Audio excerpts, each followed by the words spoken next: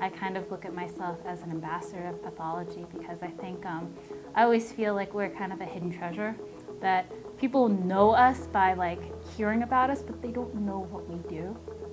And so often in my interactions, I try to say, this is what the laboratory session looks like. This is what the people who are giving you the answers on your electronic medical record system, this is what we're doing and how we're getting to that answer.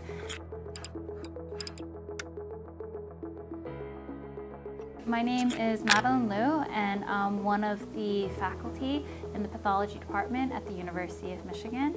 I'm a cytopathologist and I also sign out genitourinary pathology. I also serve in an education role as the department's medical school pathology education curriculum um, and involved in various aspects of the curriculum and the trunks and the branches.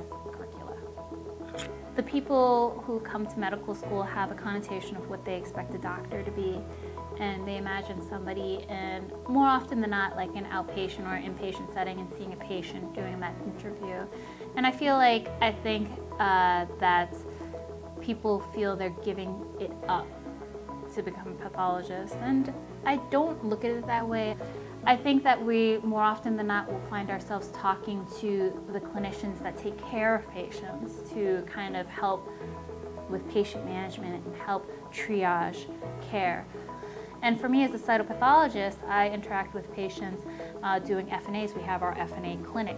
We run around the hospital giving um, on-site preliminary diagnoses for liquid biopsies and we're involved with communicating with all different types of services from the melanoma clinic to the oto clinic, um, the MPU, which stands for Medical Procedures Units, they do bronchoscopies as well as endoscopies that could have FNAs associated with them.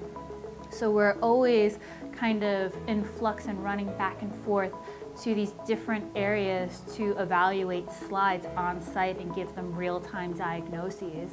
So for what I see in pathologists, the whole kind of like quiet, they don't want to talk to anybody is very untrue. They love working with people. I love working with people. I love teaching.